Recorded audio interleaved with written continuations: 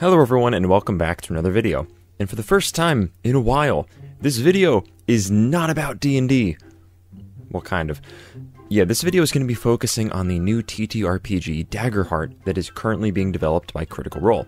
And if you've been following along with the adventures of Daggerheart for a while now, this has actually been in the work for the last couple of months. And yes, right now, open testing for this game has started. We've been able to take a closer look at some of the rules and mechanics of the game, and I personally wanted to go over a lot of what I've been seeing here within the game, as well as some things just that I think are going on behind the curtain. And just in case you want to follow along with me or check any of this out for yourself, I left you a link where you can find, download, and try out the new playtest too. So, first of all, the mechanics and what I think about them. Daggerheart is a game that surprisingly doesn't actually run on a main D20 system and well, it mostly does for the DM, but surprisingly not for the players. You see, within this game, you have your abilities run onto d12s, your hope die and your fear die. And then when you roll for a certain skill check, ability, attack, and the like, you roll both of these dies, your duality die, and you add the two of them together. However, whichever of them rolled higher provides a certain influence within the game. If your hope die rolled higher, then you rolled with hope, which means you gain a hope point which can be used to fuel certain abilities. However, if your fear die rolled higher, it means that, well, if you still did beat the DC, it means you might have only succeeded a bit less than if it was with the hope die, and a lot of this interpretation really seems like it's going to be up to your DM. It also means that the DM has then acquired a fear point, which are essentially in game resources for the DM to use. And they can use these to activate certain abilities within their enemy characters, debuffs against the players, and the like. And besides this, there are actually a number of big pieces that set Daggerheart apart from other forms of TTRPGs. For example, the stress and hit point system. So, within Daggerheart, hit points is noted down as something like tiers. If incoming damage is high enough that it hits within a certain threshold, then you take a certain amount of damage. Minor damage is a hit point, major damage is 2 hit points, and severe damage is 3 hit points. And it's interesting to me that the damage and hit points aren't directly related to one another. Like typically, as we see within the official rules for, you know, this example character, if the incoming damage is 6, it would register as a minor damage, and therefore we would take 1 hit point. So our damage decides how many hit points we lose, but it's based on a scale rather than actually just saying you take 6 damage and then you cross off 6 damage on your sheet. And so this is kind of like the first time that I'm really seeing this within a TTRPG. And the interesting part too is looking at stress and essentially how hit points and damage also affect stress. So, stress is something akin to a resource as well, and you get stress each and every time you get hit with damage below your minor damage threshold. You can only have a certain amount of stress stored up within you, and if you have too much stress, you take damage. You know, kind of like real life. But now, I really want to take a step over to the character building kind of things. We have a decent chunk of options for fun builds, ancestries, classes, subclasses, domains, and communities, and yes, that is quite a lot. And also, this is a particularly fun part for me because if you're new to the channel and don't know, I love making D&D builds in particular. I also do a lot of other stuff on the channel too, such as the occasional spell, lore, or monster guide, but builds are usually the bread and butter here. So if this seems like something you'd be interested in, or if you like my art that you're watching me draw as I make this video review, or even just, you know, what you've seen so far, or want me to cover more Daggerheart content, then consider subscribing for even more. But, anyways, back to the nitty gritty of the video. We have a lot of character pieces to work with here, and for the sake and convenience of time, I will shorten and summarize all of these as quickly as I can. So, starting with Ancestry.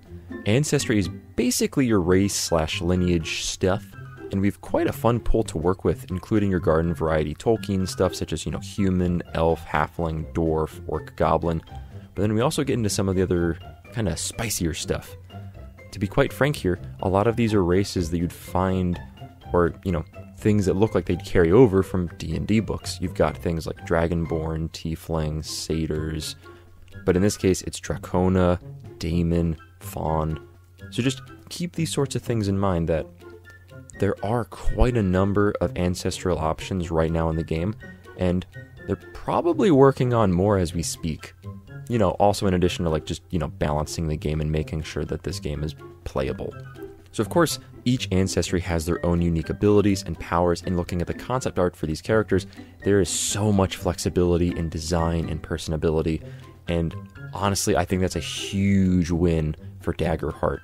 You look at a lot of like the different options in regards to ancestry, and it can really open up the floodgates for just inspiration.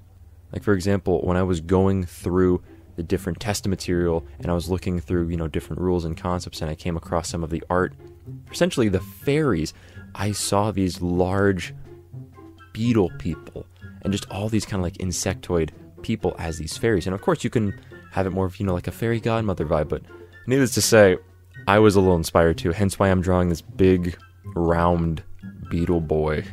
And in this case, yeah, this is actually a fairy. So once again, big win for creativity here. I love to see it. Anyways, getting more so back on track, communities are where your character originated from.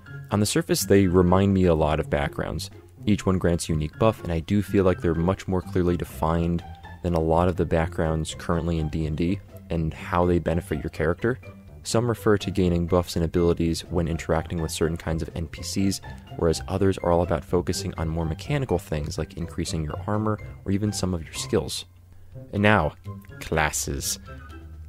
There are nine main classes within Daggerheart at the moment Bard, Druid, Guardian, Ranger, Rogue, Seraph, Sorcerer, Warrior, and Wizard. And now each class gets their own choice of subclass, and it's within the class we actually see which domain cards we can choose from as we level up. More about that in a second. A majority of the classes will have a unique combo of domains that lets you add a certain blend of abilities to really make the character fit into a certain playstyle. And now, speaking of domains, these are sort of the overall theme of some of your characters. Some of them grant you abilities that aid you in battle, while others might give you healing powers, while others might give you magical secrets and cleverness to trick your enemies with. When you choose a domain, you get a few of these domain cards, and as you progress and level up throughout the game, you'll acquire more domain cards for you to use. And at first glance, they do remind me a lot of like feats and spells based on how you get them by leveling up, because as you progress further and further, you get to unlock more and more of these abilities. You know, kind of like feats. And now, looking at a majority of the basics within this game so far, my honest thoughts. I already have some big points that I want to add. First of all, big love for the most underutilized die in all of tabletops. Hail to the D12. Finally, it could be this thing's time to shine. But also, I both feel like I'm pumped for, but also feeling iffy about the whole mechanic. Already, for new players to the TTRPG scene, it feels like it could be a lot to track. You need to be mindful about tracking a lot of resources too, which I'm kind of getting with Daggerheart, and what does what, and how much of each sort of resource you have. You've got hope, stress, hit points, armor, just general equipment. It's a lot of certain things that it might come out a little bit better more in long term testing. But on the surface right now, it does seem like it is a little chunky. And also, that's kind of the whole point of why we're here. The game is currently being tested to work out all of the bugs, and at this point, if there's something in there that really doesn't play well, you at this stage have the ability to say something about it. It's a speak now or forever hold your peace kind of thing.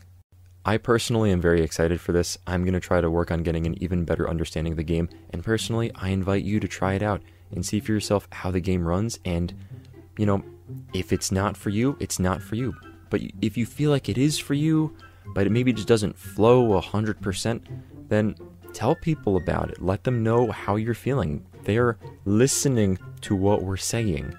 This is the time where, if we have any big critiques about the game, we can actually work with them and maybe make something even greater.